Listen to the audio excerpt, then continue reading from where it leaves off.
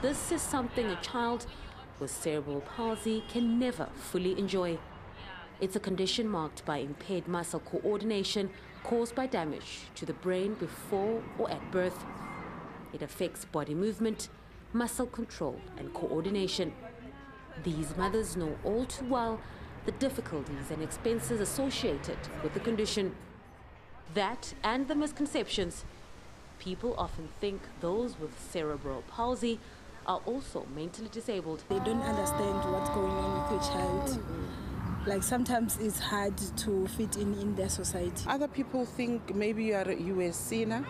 That's why you have uh, a receive or you are a witch or whatever. You know, people think otherwise You did something wrong. you did something wrong for you to deserve to have such a child. The mothers agree that the public is misinformed. that the mothers were negligent, that as a mother you tried to abort the baby, or you were bewitched, or you were negligent with the child.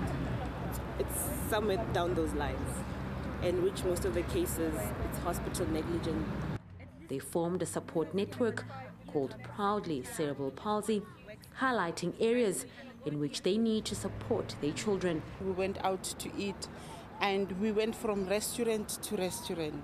90% of the places could not accommodate our children. When I get in the taxi, they will rush me always. Mm. Like, you have to hurry up. We don't, we're not gonna wait for one person.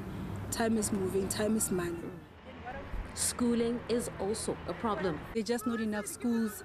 It's, it, it just also raises back that question to say that if our constitution is saying that every child has a basic right to education, which children did they mean? Were they excluding our children with disabilities?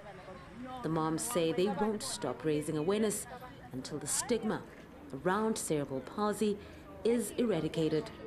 Lorenzo Temba, Pretoria.